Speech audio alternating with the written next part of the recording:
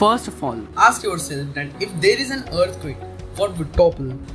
How should I secure it? Evaluate each room in such a way. So, let's go. Large furniture might fall onto you or block exits during a quake. So, fix them to the wall using metal brackets. Anchor hanging lamps with closed hooks as they might fall. Attach a restraining lip around desktops and shelves to prevent objects from falling down. Place heavy objects and electronic equipments on lower shelves to minimize damage. Place sandbags or pour it in delicate containers to hold them down. Anchor glasses and other fragile objects to the ground. Wall mirrors and pictures should be hung on double hooks or screwed on the wall. Use heavy double-sided tape on the back to further secure them. Place the bed away from the window to prevent any shards reaching you. Close window blinds or shutter at night to prevent possible breaking glass from flying into the room.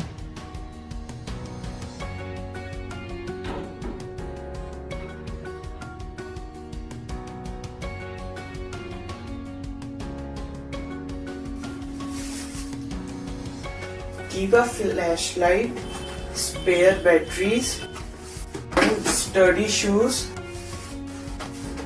beneath or beside the bed. Secure latches on the cupboard to prevent doors from swinging open. Keep a large multi-purpose dry chemical fire extinguisher rating ABC near your kitchen. All family members should know how to use it.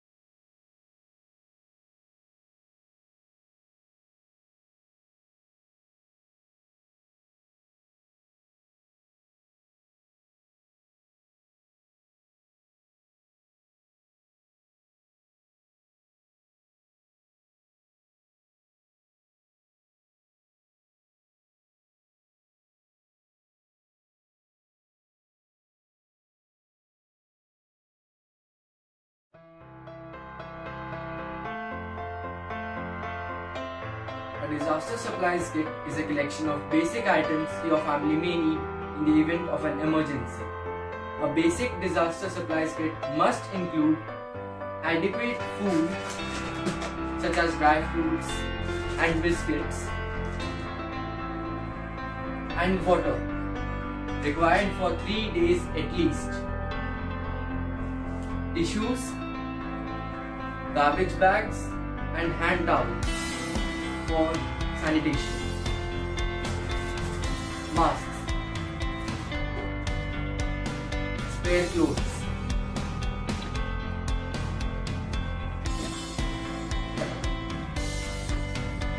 Duct tape.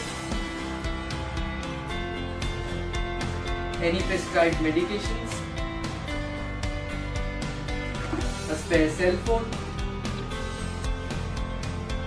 Cash manual can opener, a power bank, charger, spare eyeglasses, a pen,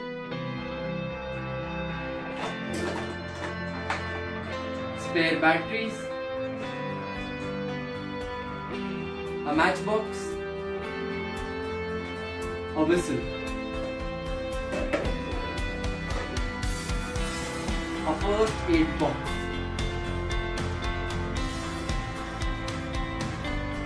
A flashlight. A fire extinguisher.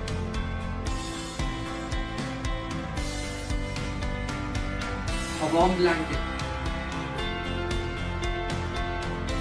And last but not least, don't forget to keep important documents such as bank and property details in your disaster kit.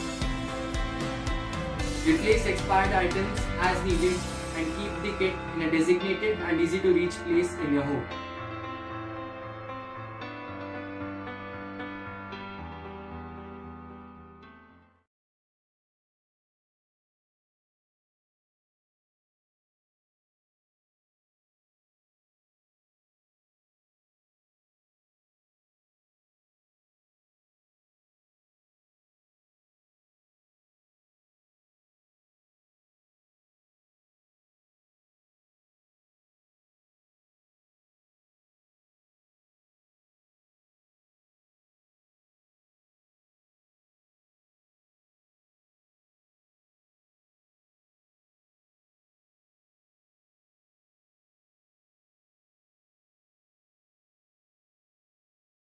Hello, doctor.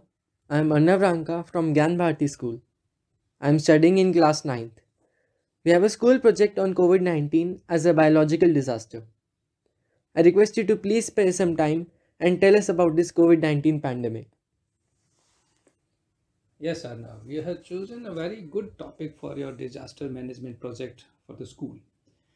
Look, this uh, COVID 19 pandemic, it has engulfed whole world why this is so uh, lethal why it has spread so much is because of this virus is very new virus. And uh, world is experiencing this virus for first time. As we have never experienced this virus so our body has got no antibodies against this virus?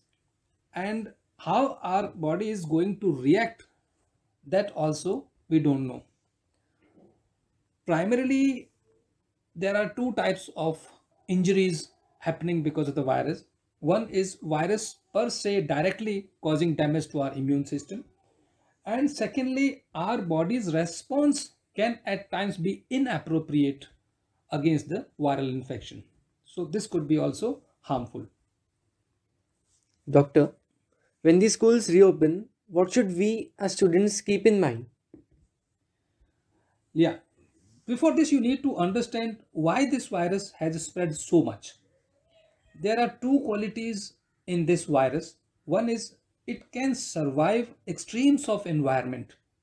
So that is survival. Secondly, infectivity.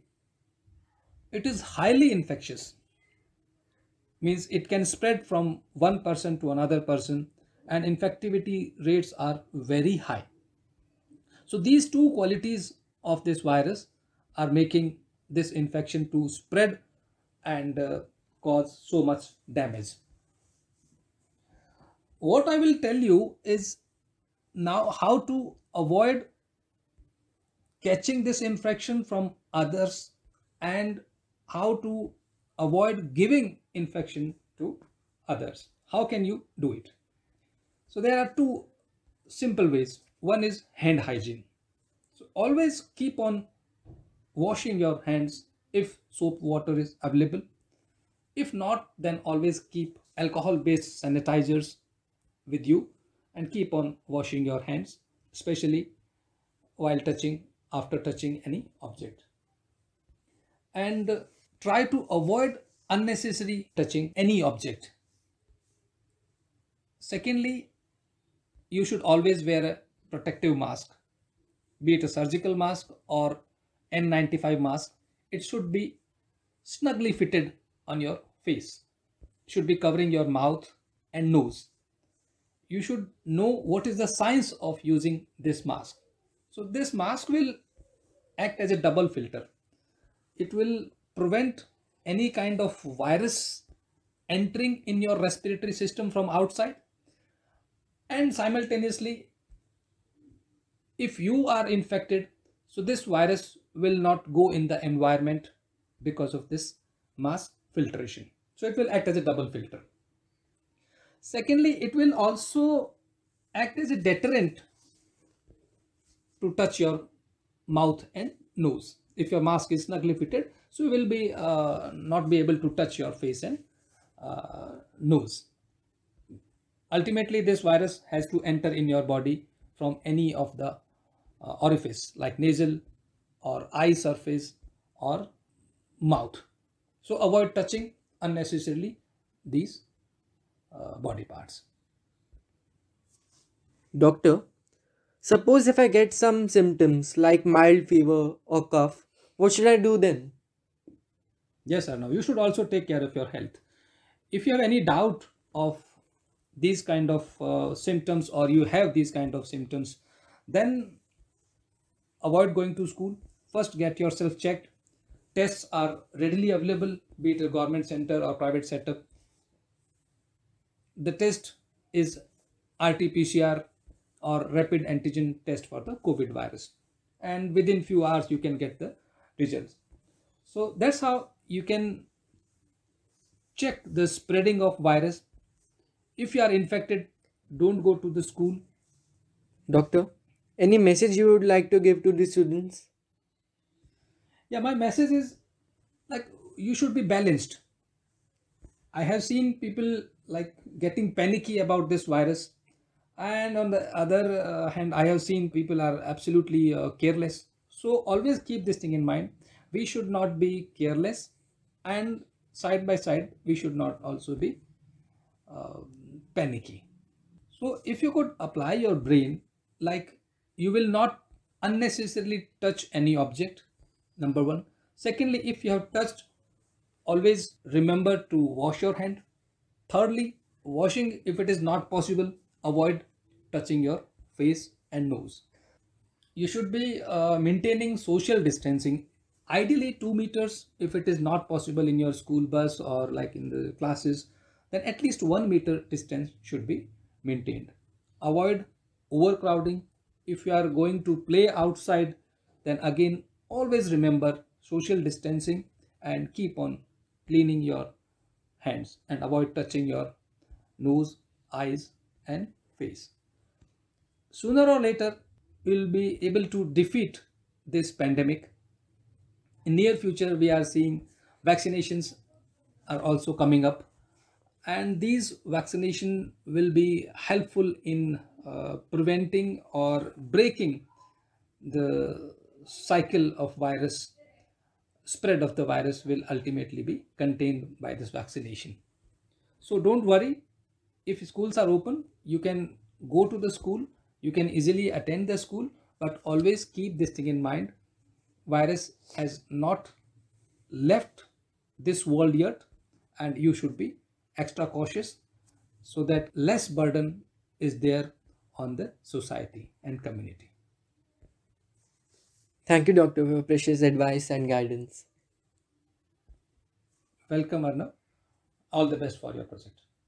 Thank you, Doctor.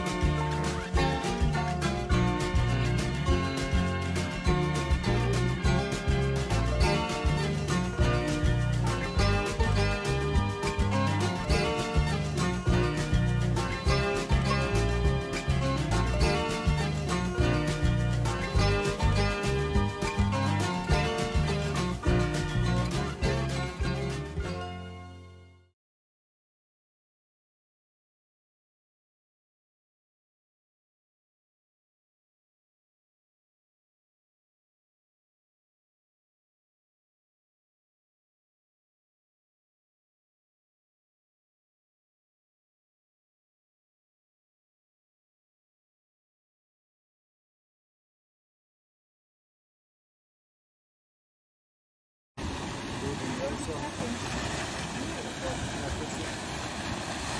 aqui durante esse campeonato aí.